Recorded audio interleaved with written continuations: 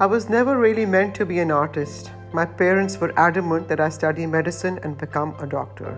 However, I always believe that following your passion is the only way to make it in this world. I'm Alia Hussain, a self taught ceramic artist, and pottery is my passion.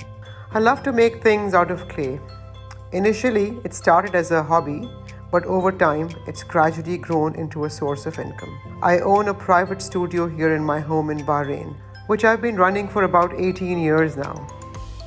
The studio is my escape from reality.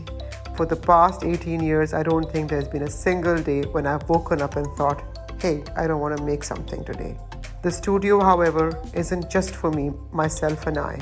Along with creating personalized sculptures for customers, I host pottery classes for students keen on the art of ceramics.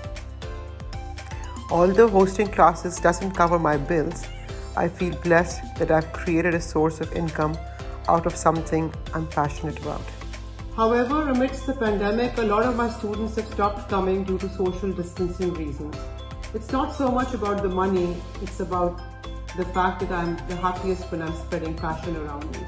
Bahrain's economy primarily consists of small businesses like mine, and so the country has taken a big financial hit because of this pandemic.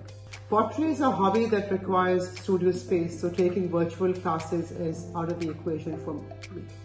I can easily maintain social distancing in my studio by limiting the number of students and have masks on and sanitizers in place.